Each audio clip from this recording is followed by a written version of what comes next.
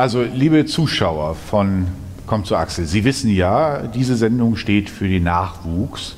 Und ich habe zwei ganz charmante junge Herren mir in die Show eingeladen, in eine Sonderausgabe. Wollt ihr euch kurz vorstellen? Mein Name ist Peter Sattmann. Mein Name ist Rainer Schöne und ich bin Rentner.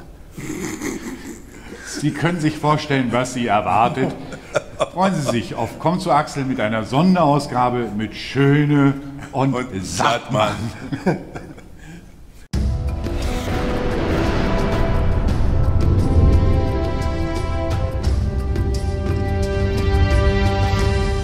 Herzlich willkommen, Rainer Schöne.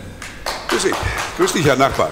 Ja, Dich mal auf der Bühne. Du bist hintergerutscht und bist mir schon fast aus dem Licht gerutscht. Wir, Rutsch wir mal ein bisschen weiter vor. Ja, ja, ja, Guck mal, Schöne muss schönes Licht haben. Das ist ganz wichtig. Ne? Rainer, Erstmal danke, dass du zu mir in die Show gefunden ja. hast. Es ehrt mich, ähm, weil ich möchte diesem Publikum draußen mal so ein bisschen was von dir erzählen oder von dir erzählen Dann lassen. Erzähl. Weil ich du hast, du, ja, genau, du hast nämlich ein wirklich spannendes Leben hinter dir. Du kommst aus Weimar. Mhm das ist äh, schon mal unstrittig. Und weißt du, dass wir eine Gemeinsamkeit haben? Sprich, du kommst auch aus Weimar. Nein, ich komme nicht aus Weimar, aber wir waren beide, beide mal Bühnentechniker. Oh, ja. Du hast als Bühnentechniker deine Karriere begonnen. Als Kulissenschieber. Als Kulissenschieber. Als Kulissenschieber, ja. Der wollten sie mir nämlich nicht haben auf der Schauspielschule aus politischen Gründen. Und äh, dann musste ich quasi ein Jahr in der Produktion absolvieren nach dem Abitur. Und dann habe ich gesagt, bevor ich irgendwie in die Fabrik gehe, gehe ich doch lieber als Bühnenarbeiter mhm. ans Theater, ähm, weil ich ja in, auch in Weimar aufgewachsen bin und wohne. habe ich mir gesagt, gehe ich doch mal ins Nationaltheater und frage. Und dann war ich ein Jahr Bühnenarbeiter. Und ich muss sagen, das ist die beste Lehrzeit, die man als Schauspieler haben kann. Man lernt das nämlich von der Pike meinetwegen. Du siehst die Proben, du siehst, du baust ihnen die Dekoration hin, du, du erlebst einen Probenprozess und kriegst eine Demut und eine Ehrfurcht, das kann ich nur jedem Schauspielschüler empfehlen, bevor er auf die Schauspielschule geht, ein Jahr als Kulissenschieber an ein Theater zu gehen. Ich bin absolut bei ja, dir. Wo warst denn du? Äh, ich habe angefangen am Cottbusser Staatstheater und dann am Berliner Ensemble.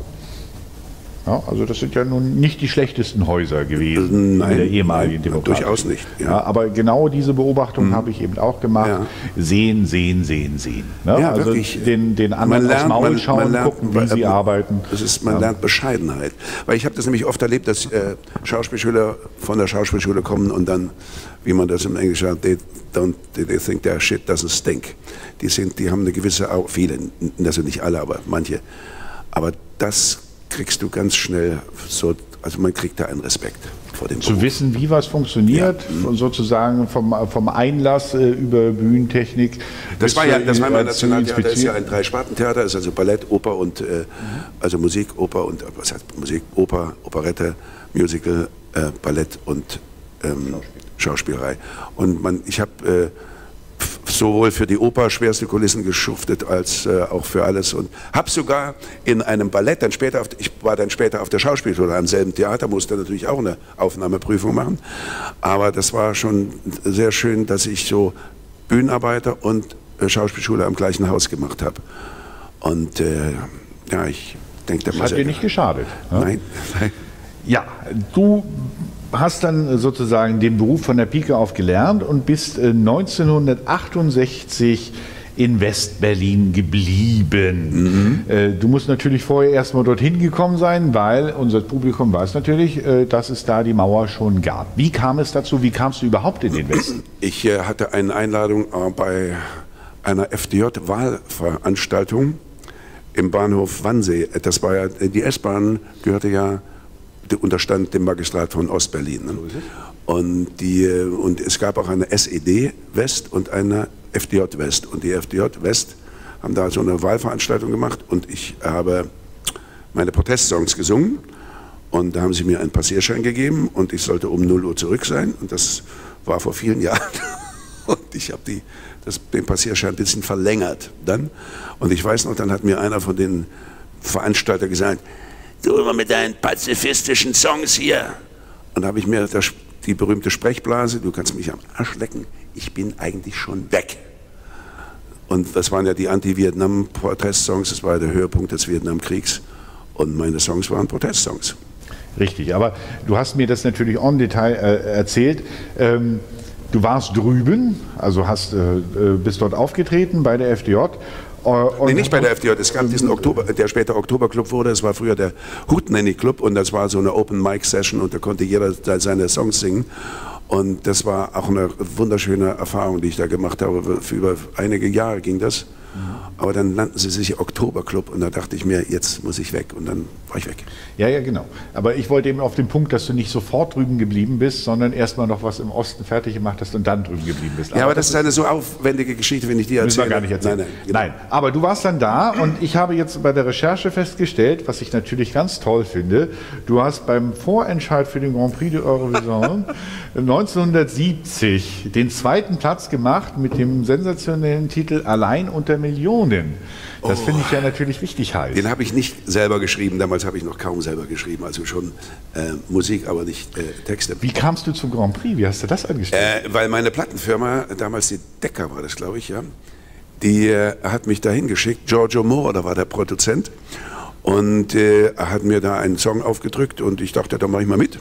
Und äh, Katja Epstein gewann damit, äh, Wunder gibt es immer wieder. Und Roberto Blanco war mit auf dem Kurfürstendamm, mein Liebe. Und ich habe mir den zweiten Platz mit Mary Rose geteilt. Und wer weiß, was aus mir geworden wäre, wenn ich den ersten Platz gewonnen hätte und ich hätte dann irgendwo, wäre ich dann in eine Schlagerrichtung gerutscht. Aber, ja, warum nicht? Naja, aber ich weiß, dass zu den Proben Giorgio Moroder als Produzent, das, es war ja Playback gesungen ne, und ähm, das Band vergessen hatte. Und er musste nach München fliegen und das Band holen und kam erst, glaube ich, eine Minute vor der Sendung wieder zurück. Aber du hast es geschafft. Aber es gibt, eine, nein, es gibt einen Clip im Internet davon.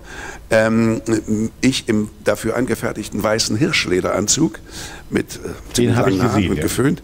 Und bei jeder Talkshow im Land wird der eingespielt und Leute und die die ähm, die Szenen sind immer sehr ja das ist immer amüsiert. sehr amüsant und ähm, es ähm, gehört dann zu meinen sehr gern gemachten Jugendsünden. Genau. 72 kam dann äh, der Durchbruch, ähm, was das Musical betrifft, mit äh, Jesus Christ Superstar mm, und mm, her, mm, oder? Jedenfalls steht so. Einspruch, ja, ja, das war her. Ich habe ja, her. ja drei Monate nachdem ich im Westen gelandet bin, ein Casting gemacht für ein Musical, das hieß Haare, also Herr, mhm.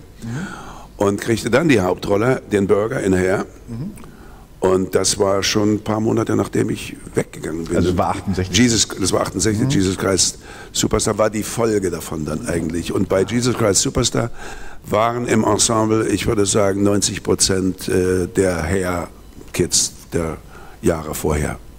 Aber also wir kannten uns eigentlich alle. Aber es ist doch toll, so solche Sachen spielen zu können. Naja, ich, also ich habe äh, mit 150 Prozent angefangen. Das war schon, das war schon toll. Und im Osten gab es zwei mein Bruder schickte mir zwei Ausschnitte aus äh, einer Theaterzeitung, also Theater heute, mhm. Theater der Zeit, Theater heute. Ne?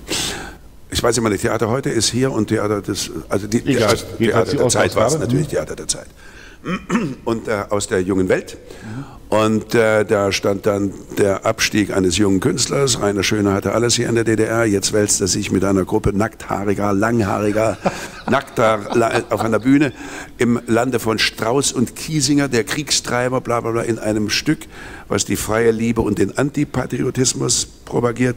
Das ist ein schöner Schlusssatz.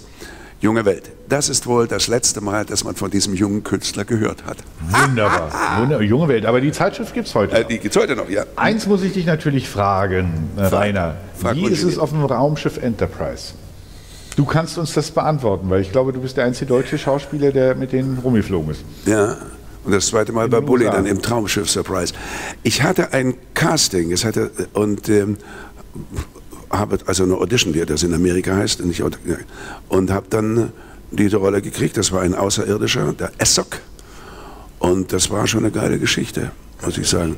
Wie war ja. das überhaupt in den USA? Also, ich meine, aus Weimar in die USA zu ja. gehen, war ja eine Entwicklung. Ne? Das alles zu erzählen würde jetzt nein, nein, ich bin, aber ich bin nach einer äh, zehnstündigen Miniserie Die Rückkehr zur Schatzinsel, The Return to Treasure Island, die von Disney co-produziert produziert wurde, äh, hatte ich zehn Stunden Roller anzubieten. Also du kannst ja, du musst, wenn du in Amerika einen Agenten haben willst, musst du etwas auf Englisch zeigen. Es kommen viele aus dem Ausland, die haben dann Untertitel unter ihren Rollen, das interessiert, die wollen hören, wie du auf Englisch klingst. Und ich hatte zehn Stunden anzubieten und kriegte dann, das ging auch nicht ganz so schnell, eine, einen, einen Agenten, die berühmte, wunderbare alte Paul Kohner Agentur, die auch auf Ausländer spezialisiert waren, schon seit den 30er Jahren. Und dann war ich dann fast 20 Jahre in Amerika. Ja eben, weil du hast ja lange Und ich bin, bin aus, ja, ich bin aus sehr privaten Gründen, das führt jetzt zu weit, das waren tragische Geschichten, dann für eine kurze Zeit nach Deutschland gegangen mit der Anja, meiner damaligen Freundin und jetzigen Frau und Mutter meiner wunderbaren Kinder und bin, wir sind dann eigentlich in Deutschland hängen geblieben. Wir wollten gar nicht hier bleiben. Das ist eine ganz coole Sache. Ja. Wir, wir, können ja dein Leben sowieso jetzt nur, nur streifen. Dann kam äh, Jedermann natürlich, 99 äh, hast du es in Berlin gespielt. Mhm. Das werden wir nachher noch mit deinem lieben Kollegen, liebenswerten Kollegen äh, beleuchten. Aber eines darf jetzt natürlich nicht unerwähnt bleiben, weil das ist schon irgendwie, es, es, es spiegelt so deine Bandbreite. Bin ich mal gespannt. Weil, du bist ja auch als Synchronsprecher sehr aktiv. Ja? Und ich finde das einfach irre, dass du auf der einen Seite Papa Schlumpf sprichst und auf der anderen Seite Star Wars Episode 3. Tilo, ich bin dein Vater. Aber das ist ja eigentlich, das war ja nur ein Film. Aber jetzt haben wir den fünften Transformers gemacht. Okay. Und da bin ich ja dann der deutsche, die deutsche Stimme von. Und es ist wunderbar. Ich habe so viele Handys besprochen inzwischen. Mein Name ist Optimus Prime. Herrlich, herrlich. Und wie so viele Kids kommen dann immer und sagen, oder du kommst in irgendein, da kannst du zehnmal den Hamlet, den jedermann gespielt hat, ich weiß nicht, wie viele Filme gemacht haben. In dem Moment, wo du Optimus Prime bist, die deutsche Stimme, da bist du der König. Wunderbar. Und wie klingst du als Papa Schlumpf? Das weiß ich, so wie ich. So wie ich. So, nein, nicht wie du, wie ja, ich. Wie du, ja, okay. Sehr schön. Der, der Sattmann lacht schon. Nein. mein Lieber. Da, ähm, ist, da musste ich nicht so tief. Das ist einfach ein liebenswerter alter Papa. Einen seiner Lieblingssongs, den hören wir jetzt, nämlich Jung sein. Damit verabschieden wir uns für heute von Kommt zur Axel und freuen uns auf ein Wiedersehen, hoffentlich mit den beiden Junggebliebenen hier. Tschüss und Dankeschön. Tschüss, vielen Dank.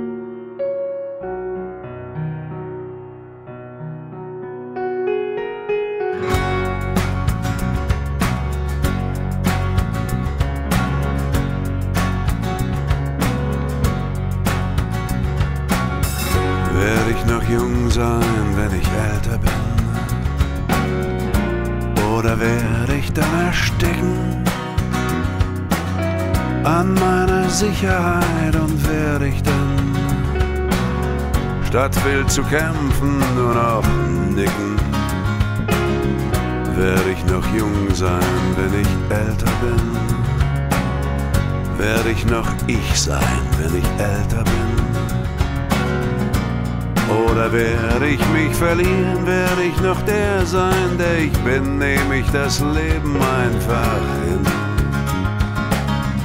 Werde ich noch ich sein, wenn ich älter bin?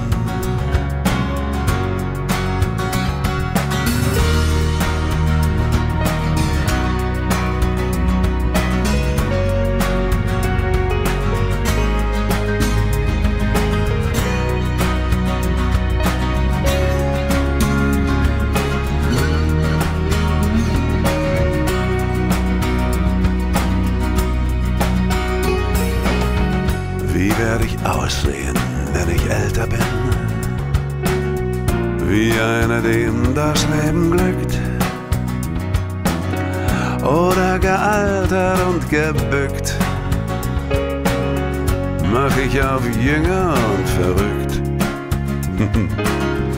Wie werde ich aussehen, wenn ich älter bin?